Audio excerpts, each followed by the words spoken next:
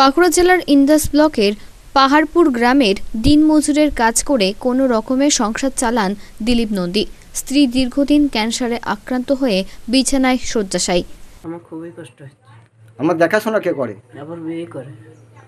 মেয়ে কোন ক্লাসে পড়ে? মেয়ে এইটে পড়ে।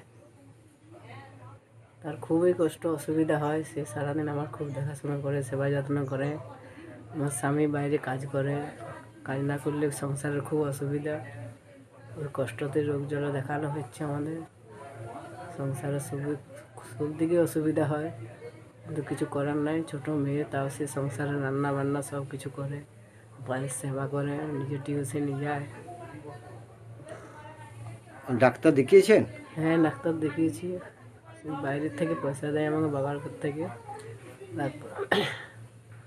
আর আপনার এই যে মেয়ে দেখাশোনা করছে এতে তো মেয়ের লেখাপড়া খুবই অসুবিধা হচ্ছে মেয়ে কী করবে? কিছু করার নাই মায়ের যত্ন সেবা তো করতে হবে। দিলীপ নন্দী স্বাস্থ্যসাথী কার্ড নিয়ে বিভিন্ন হাসপাতালে ঘুরেছেন।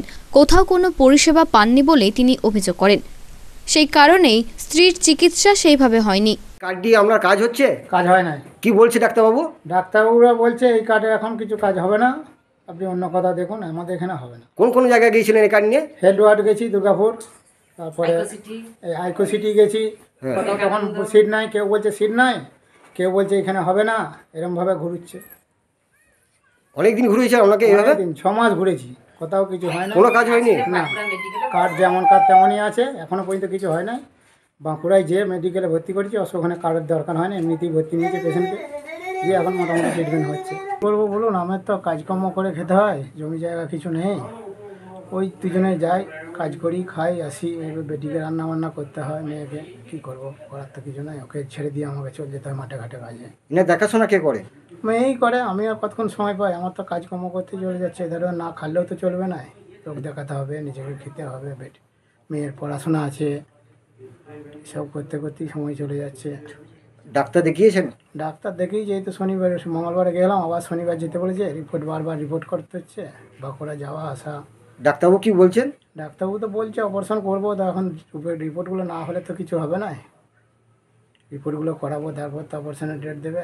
যে আপনার মেয়ে সকাল থেকে মায়ের সেবা করছে রান্না করছে তারপর পড়াশোনা করছে কতটা কষ্ট হচ্ছে আমি? কষ্ট তো ভালোই হচ্ছে কিন্তু কি করব বলুন? করার তো কিছু নাই ও ছাড়া আর কে করবে? আর তো কেউ নেই আমার। আপনার জমি জায়গা? কিছুই নেই ভিটেটুকু সম্বল ওই এইরূপ পরিস্থিতিতে স্ত্রীর চিকিৎসা করা প্রায় অসম্ভব হয়েছে। তাদের একমাত্র কন্যা অষ্টম শ্রেণির ছাত্রী শ্রেয়া নন্দী এখন ক্যান্সারে আক্রান্ত মায়ের একমাত্র সেবিকা। মায়ের সেবা করে তাকে ক্লান্ত হয়ে ছুটতে হয় প্রাইভেট টিউশন পড়তে।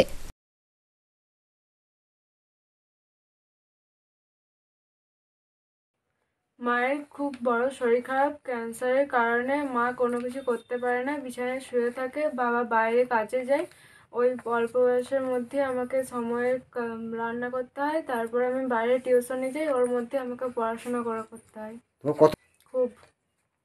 তুমি মাকে কতটা ভালোবাসো তুমি? বিশাল। এই মাকে ফেলে তুমি কোথাও যেতে পারো না তো? না। তুমি কোন ক্লাসে পড়ো? এইট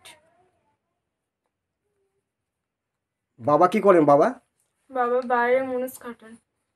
তোমাদের জমি জায়গা নেই? না। এত কিছু পরও মায়ের প্রতি মেয়ের ভালোবাসা এবং আবেগ এতটুকুও কমে যায়নি।